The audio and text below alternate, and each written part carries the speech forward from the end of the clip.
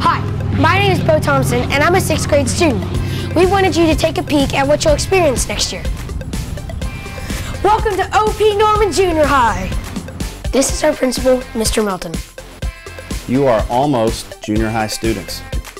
We hope you have a wonderful summer and get prepared for what sixth grade is going to be.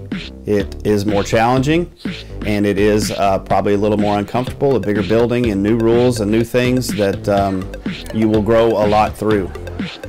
With junior high uh, comes increased freedom, and anytime you get, get more freedom in life, you have more responsibility. Because of this, your expectations are going to be a little bit higher.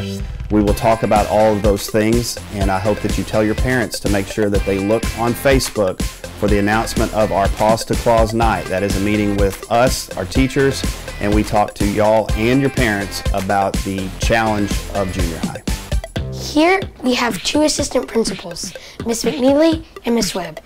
This is one of our assistant principals, Miss McNeely. We love her, but you don't want to be in her office.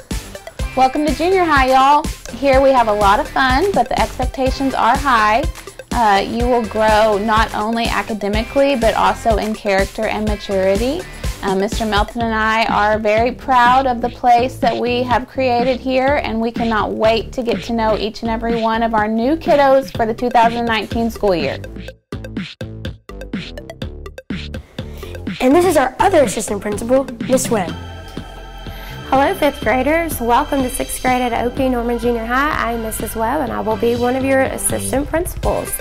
We look forward to meeting you come August. Some of our expectations are we expect you to be in class on time every day, work hard, and be respectful to your teachers.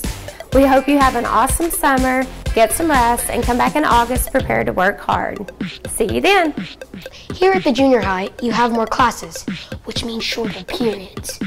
Each class is about 47 minutes long. You can be tardy each class, and if you're tardy too many times, you could go to pass, so don't be tardy. You can pick two different electives or none. Your two elective choices will be choir or band. If you pick neither, then you could end up in communications with Miss Dees or Paws to Claws with Miss Molly. That is the way it was this year, but it may be different next year.